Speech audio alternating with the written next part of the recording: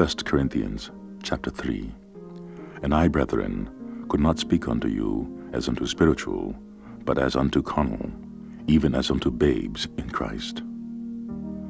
I have fed you with milk, and not with meat, for hitherto ye were not able to bear it. Neither yet now are ye able, for ye are yet carnal. And whereas there is among you envying and strife and divisions, are ye not carnal, and walk as men? For while one saith, I am of Paul, and another, I am of Apollos, are ye not carnal? Who then is Paul, and who is Apollos, but ministers by whom ye believed, even as the Lord gave to every man? I have planted, Apollos watered, but God gave the increase.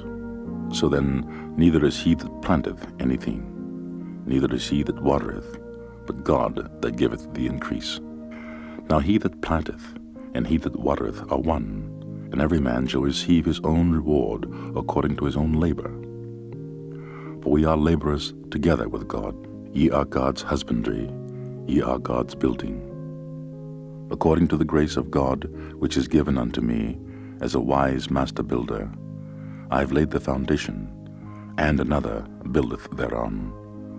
But let every man take heed how he buildeth thereon. For other foundation can no man lay than that is laid, which is Jesus Christ. Now if any man build upon this foundation gold, silver, precious stones, wood, hay, stubble, every man's work shall be made manifest, for the day shall declare it, because it shall be revealed by the fire, and the fire shall try every man's work of what sort it is.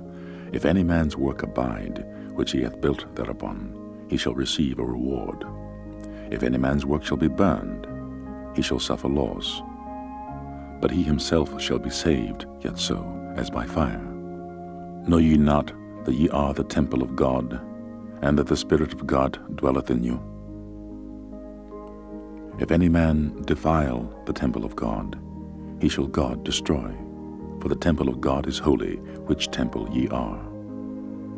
Let no man deceive himself. If any man among you seemeth to be wise in this world, let him become a fool, that he may be wise.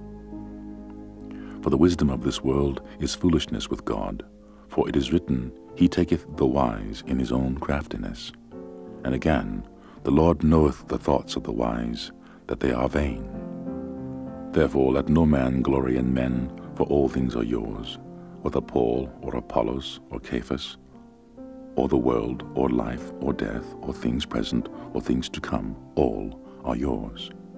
And ye are Christ's, and Christ is God's.